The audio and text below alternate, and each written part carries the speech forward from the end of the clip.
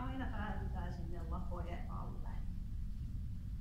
Alus kevyesti ja pikkuhiljaa voi lähteä tuonne sydäntä kohti. Eli tässä liikkeessä kun mennään ylöspäin, niin vähän lisäämään painetta.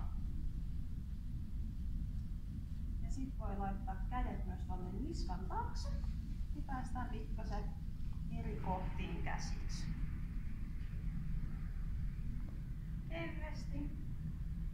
Missään vaiheessa ei saisi kauheasti sattua.